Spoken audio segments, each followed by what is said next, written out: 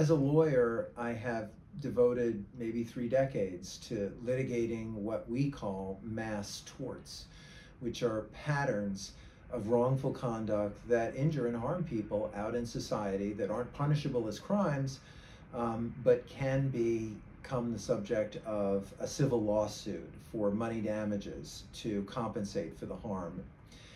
Um, and what has always fascinated me is how quick we are to say, well, if there's a defective product, um, well, that's obviously that's a mass tort in that company, whether they're making you know pharmaceuticals like you know OxyContin or some other uh, pharmaceutical or product that's been shown to harm people, uh, maybe even a defective motor vehicle, um, that that company should pay. It should pay for the harm that it caused. But when it comes to all of the traffic violence in our streets, particularly in our urban streets, which are so full of vulnerable road users, people never look at it as a mass tort. And in this chapter of my legal career, I've been focusing on trying to bring that mass tort analysis to bear on the everyday interactions of people in our urban environment. Um, and, and so as a bike lawyer, what I do is I try to look for the patterns. Um, and what I see in those patterns is a level of carelessness uh, on the part primarily of drivers, I have to say, uh, not being aware of how harmful their conduct is, not really being cognizant of how they are bulls in a china shop, so to speak, as they move their ever larger SUVs, pickup trucks, and other vehicles around in an environment full of people who are not in cages, who are not armored, who are not seat belted in, but just walking around or perhaps riding a bicycle, a skateboard, or something else that leaves them vulnerable to severe harm if they're struck by a motorist. And, you know, the motorists think, well, driving, everyone drives. People drive all the time. You know, you drive all the time, your mentality is that of a driver.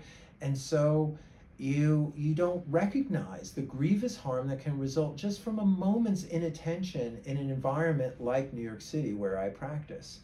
Um, and one of the clearest examples of this is how drivers seem to have bought into this idea that whatever amount of insurance they purchased, that that should be the extent of their liability if they harm someone.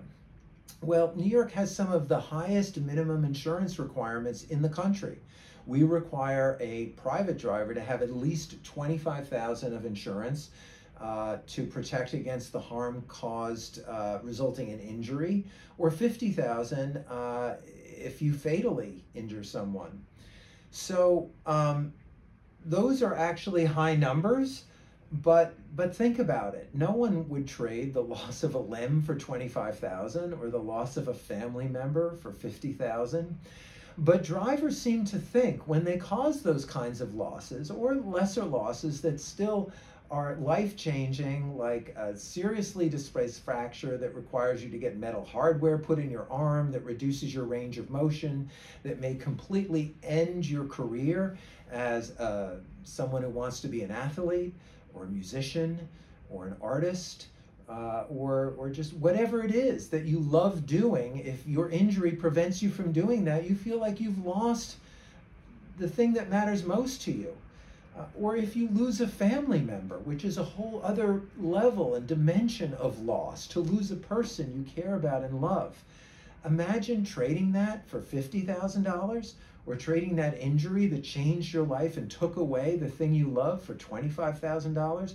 No one would ever do that you know, those sorts of injuries and, and fatal crashes cause for harm that's so much greater. Why on earth should the amount of insurance you decided to purchase be the cap on your liability and responsibility for the harm that you caused? You know, just because that's how much you bought.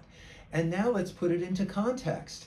Big surprise the people who are the worst drivers have bad driving records, have higher insurance rates, and you know, are the last ones who are going to buy extra insurance. the worst drivers have the minimum coverage, and they're the ones causing the most harm. And the the idea that you know, they would be, you know, able to just cap their liability. Look, you got the insurance, leave me alone. That's our system, right? As if everyone got together and decided, yeah, we like cars as a way to get around. Let's have a situation in which, except for some minimum level of insurance, whoever gets hurt by our motoring system is just, it's on them they have to live with the loss of their family member or the loss of limb or the loss of the pursuit they love, because them's the breaks. We're not going to put it on the negligent or reckless driver because that would make driving so expensive that we won't be able to drive so much.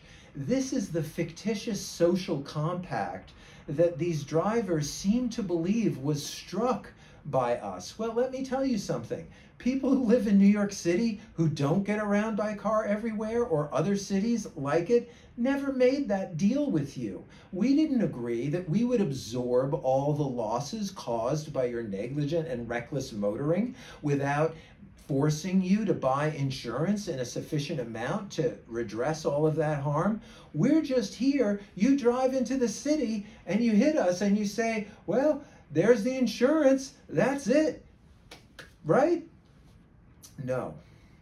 There is a movement against traffic violence and to hold drivers accountable. And at the heart of it is to say, whatever harm you cause on your fellow human being, you're going to have to answer for that harm. Does it happen in every case? No, it doesn't happen in nearly enough cases.